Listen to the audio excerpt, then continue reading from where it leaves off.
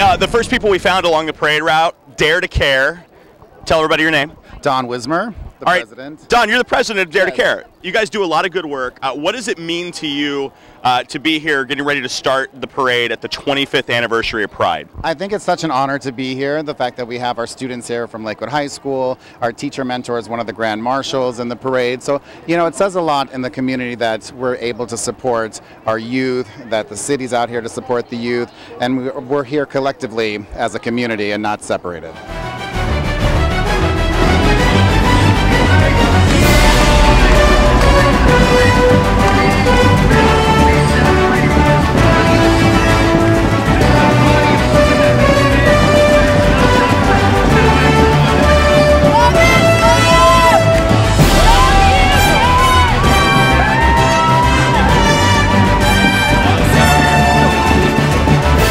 This Dare to Care. I love this shirt that's going on. You know, one of the things that's been interesting as we've watched our community evolve is that we started to fight for rights as ourselves as adults. We then started to fight for the rights of, let's say, our um, older adolescents.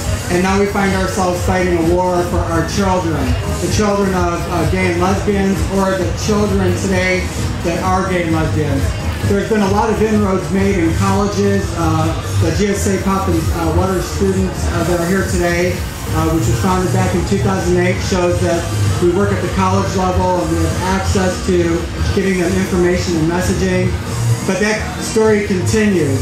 And I want Matt to speak today, and I'm proud to present him as our um, uh, community and advocate uh, marshal because he's actually continued the program in the college system, I'm sorry, the high school system at Lakewood High School. He works with Dare to Care. They're trying to make certain that children of today don't experience things that we as children of yesterday did. Matt, share something about you and your program, and I can't thank you enough for being one of us this year. Come up here. Thanks, Todd. Um, I'm being recognized today because of the work I do with Dare Care. It's a grassroots Cleveland organization that uh, wants to train high school students to be advocates for the LGBTQ community in their local high schools, and also to address the issue of teen bullying. I have uh, I've been so impacted by their work, and in the last year have collaborated with four Lake High School students who are out here somewhere in the Pride Parade and uh, Festival today. Um, together, we've created a club to celebrate student identity. We've also collaborated with numerous student organizations to talk about uh, LGBTQ issues at our high school.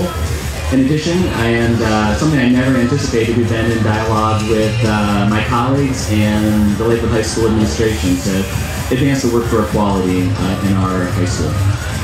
Um, one of the biggest transformations for me is I made the decision a year ago to be an openly gay high school teacher. Never in my career did I think I would be standing here saying that to an audience. Thank you for some applause. I appreciate it. Um, you know, the most shocking thing is been that the only feedback I received from students, parents, colleagues, and administrators has been positive and congratulatory and supportive. And perhaps it's a sign of the times that we're really living a new moment uh, in society.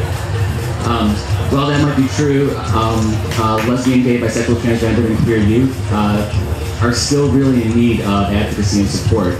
They are more likely to be high school dropouts. They're more likely to struggle, have emotional problems, uh, um, and, sadly uh, be victims of uh, teen suicide. So they, they really need all of you guys out there to consider getting involved and uh, helping them out. Uh, the to Care booth is located right behind this tent, and some people are there to let you know how you can find out more about our organization and how you can get involved.